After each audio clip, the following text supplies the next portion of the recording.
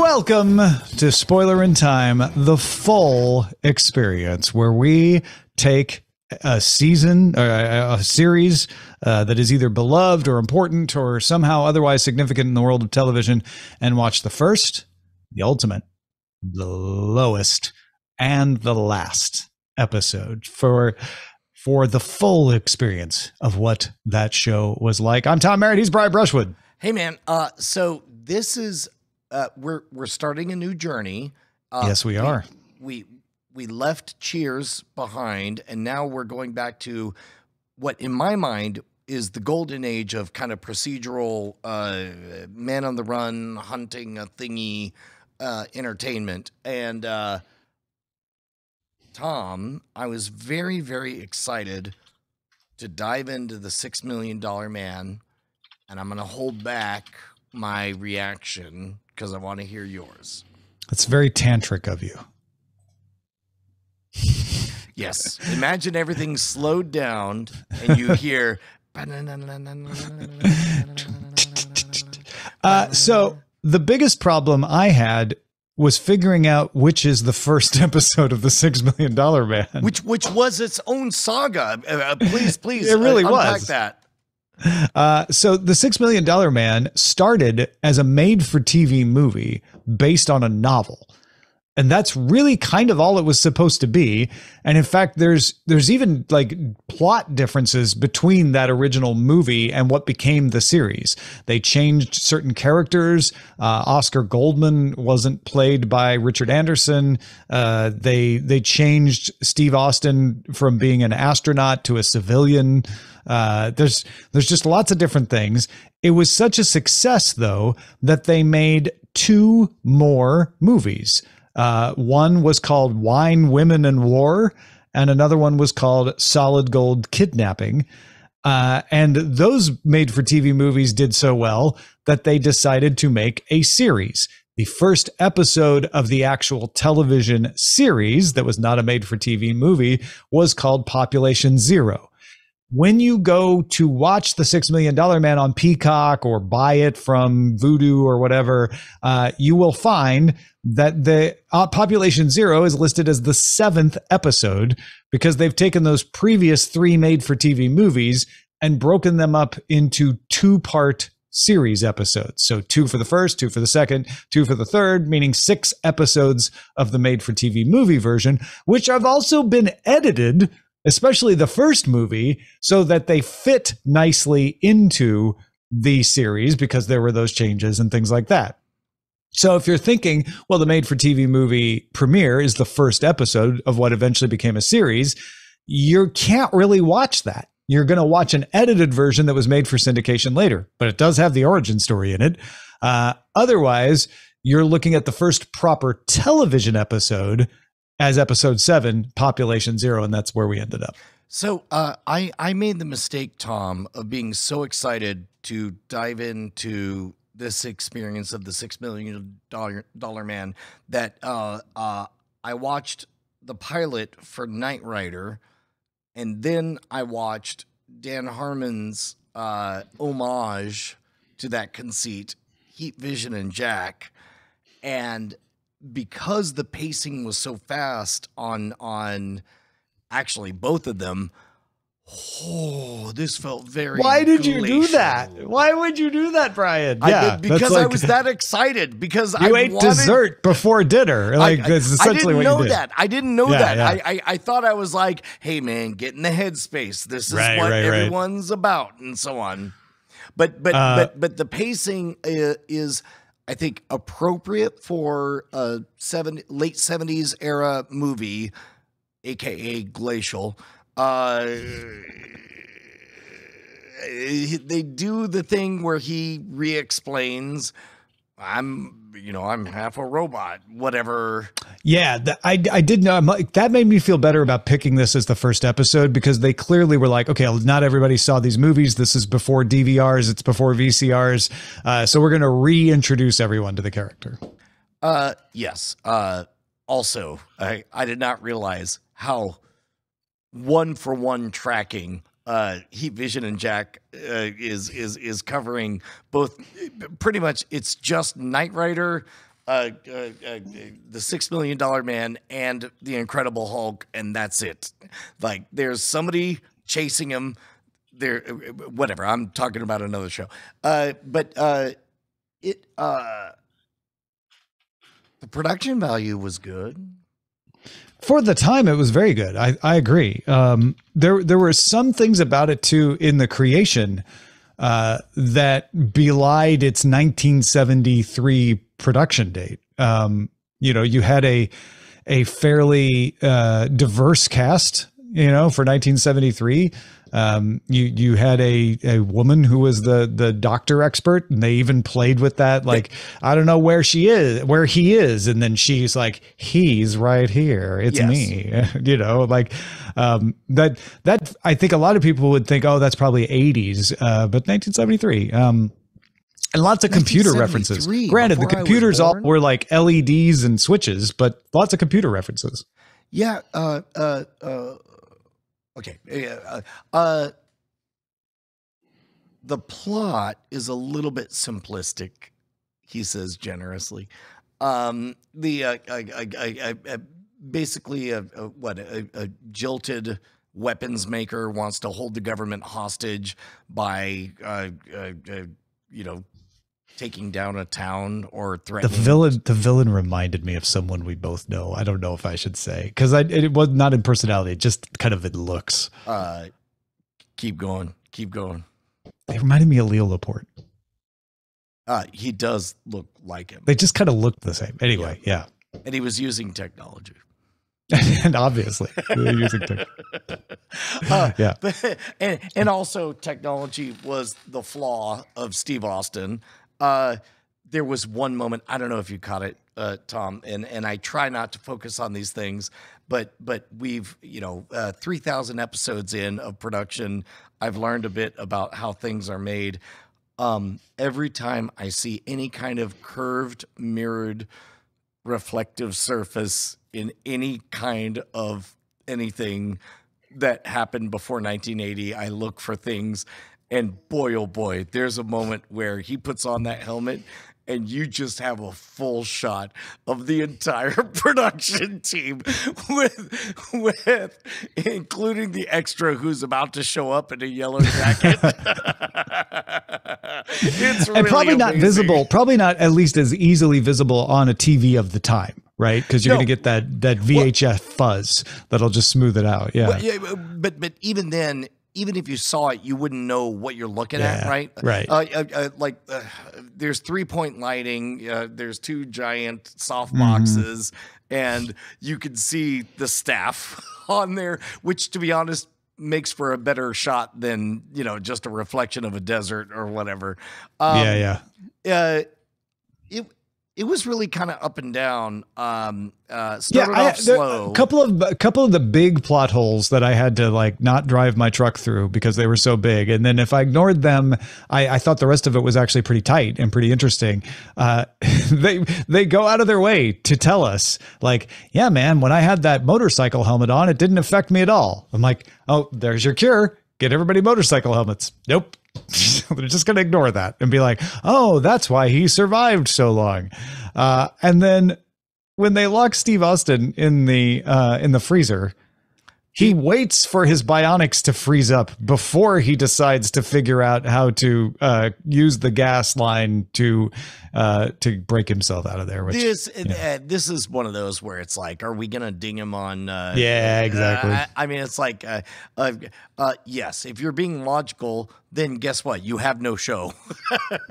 Right. You, you have to do the thing so that there Or- could be a. I mean, I do think like, oh, in a modern writing situation, they would have come up with, you know, and uh, to keep you from using your bionics before they freeze, we've, you know, added a titanium lock or something or it, other, it right? won't like, unlock until the third yeah, act. it's got a yeah know? ten minute delay. Yeah. exactly.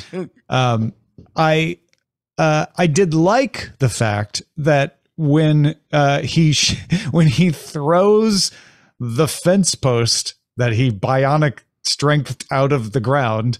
I'm like, that was actually pretty genius. Like, what do I have around? Oh, I'm gonna MacGyver this. Okay, here we go. Yep. Yep.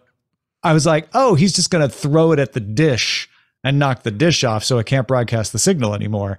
Oh no, it goes right into the middle of the thing and blows it up. I'm like, there's 1973 television. That's what I'm here for. Thank you. Uh, production wise, uh, things I noticed, um, uh, it makes sense that Lee Majors was a real star at the time. That dude is fit and buff, and it shows. Um, the conceit is awesome. Uh, somebody in the chat said they weren't they weren't using the bionic sound effect. You do hear it very very briefly when he's bending the metal pipe as a practical Mhm. thing. Like, hey man, you're not putting me to work, so I'm I guess I'm building buggies now. You know that that that kind of Yeah, thing. it's it's like they're experimenting with like maybe we should put some sound in here, but they haven't quite decided to use it all the It's time. it's before they went full cartoon on that stuff, Yeah, yeah. right? Uh, uh, I mean, I gotta. It's it's uh, surprisingly progressive for its time. Uh, Yeah. What? Uh, 1973, 50 years ago. 50 years ago, Tom. They Yeah. made sure that there was an important scene with a, a person of color and uh, a reminder that women can be doctors too. Yeah. Um, uh, and they also made nasty white people with technology the bad guys. right. like, yeah, it was not. It was not uh, what at the t- I don't know what at the time would have been the popular foreign villain. Probably Soviets, probably Russians still, but yeah, but instead it was could- a, it was it was a homegrown threat. it was a Uh, disgruntled scientist who wanted who want who was mad that his funding got pulled. Yeah, Uh, I thought that is- was a more sophisticated plot, to be honest. yeah. Um. Uh. Wait. wait. Also, they didn't kill everyone. They could have easily told this exact same story uh, and had everyone die the first time, and like we'll do it again at a bigger town, right? Uh, and had one survivor who just managed to be on the edge. Uh, I thought it was more sophisticated to have it be everyone. They thought everyone was dead, which they probably should have been able to tell they weren't dead, but they thought everyone was dead, uh, and then it turned out it was a temporary effect. Well, uh, uh, because the whole thing turned out to be a blackmail scheme, essentially. right Where it's right like, uh, and so he didn't a yeah, and that made sense too that was a more please. Yeah. sophisticated uh, uh situation as well It was uh, ahead of its time. yeah it wasn't bad uh i didn't love it i definitely took advantage of the fact that i could wa- i could keep one eye on it while i was watching it uh um i might have had a baseball game running uh, up on the television in the hotel room while i watched this on my phone And, but and, and, and, and that should be a disclosure that, that we give out whenever we're not giving our full attention on it, because there are times that when both either of us wa- like really give our full attention, we're like, "What is this garbage?" yeah that's true that's a good point Uh, so so it gets a bit of uh, of a pass on that, but I definitely I watched the first half with my 11 year old, and I began began to become apologetic, and then I went to HQ and watched the second half and enjoyed the second half a lot more because I knew I wasn't having to apologize to a uh, 11 year old who was Makes a accustomed difference, to yeah. faster things. Yeah, yeah. And this this was very this was meant to be watched by people who in a household who might not be paying full attention, so you give them lots of space so they don't feel like they miss too much. Um Do, Yeah. Do, do you think we violated a rule of like, is this, I guess technically it's the first, right? well, I mean that was our whole conversation at the beginning, right? It's like how do you decide what was first? Uh and we sort of went with the way fan sites define it. Uh, so most fan sites define the movies as problematic at best as far as fitting into the canon of the rest of the series and list them separately from the episodes. So if we're going with first episode, this is the first episode of the TV series. In that case, uh, my only complaint is that the uh, the opening uh, was not the full opening of the story of uh, Yeah, I noticed that too. Yeah. A man barely Yeah. alive. Yeah, exactly. Uh, poor Peanuts Donnelly. But I, I actually like that little like reminiscent scene when he's walking with the guy that he knew because he grew up down the road and, and like ah, I remember when you punched Peanuts Donnelly in the face or whatever it was. I don't even remember. I just Uh, that was my last note in my notes. Poor Peanuts Donnelly. compared to other first episodes. I, uh, uh, you know what? This is a new game we could play. Yeah, yeah. Uh, Now that we're doing multiples, Uh, we did Cheers. We did the West Wing. Uh, compare this uh, first episode to those two. it's hard because it's not a pilot. Cheers was a full-on pilot. West Wing was a very much a first episode. It was also technically a pilot, but I think they knew it was get picked up. Uh, Cheers was actually not shot before a live studio audience in, in the first episode, right? So it was very different in a lot of ways. Uh, this has the advantage of having had those three movies so that you have a smoother production. But being from 1973, much different pacing, much different scale to judge it by production value wise. Uh, but overall, I think it's the third best of the three, but not by like scads and scads of, of room for me. What about you? Uh, uh, Tom, mathematically, every uh, one of them has to be the least awesome of a starting point, and I think we found one. I'll, I'll put it this way: uh, as we continue to do the full experience on other shows, there is room behind Population Zero for for worse first episodes to show up. I believe it. I Yeah. believe it. However, for now, congratulations. you are the least best. Oh, that reminds me. I actually really loved when they interrogated him and he just answered all their questions. I'm like, this is supposed like I, That was he- he- that was pretty dope. He's like, I'm not gonna lie. six million dollars. yeah. Uh, that was great. Uh, that is Six Million Dollar Man, episode one or seven, depending on your how how you're counting. Uh, population zero. Now we this is less of a conundrum than the first episode was. Uh, we have a little conundrum for best episode. The highest ranked episode on IMDb is what we usually go by. Uh, the highest ranked by far uh, on IMDb is Kill Oscar Part 2, getting an 8.3 out of 10. Now, you may rightly ask, oh, was Kill Oscar Part 1 like an 8.1 or an 8.2? Should we watch them both? Kill Oscar Part 1 is not an episode in The $6 Million Man. It is an episode of The Bionic Woman. Oh dear.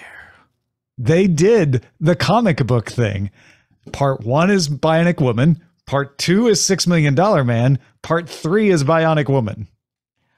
Okay. All right. Uh, uh, look, uh, uh, uh, if we had infinite time, I think we would both agree.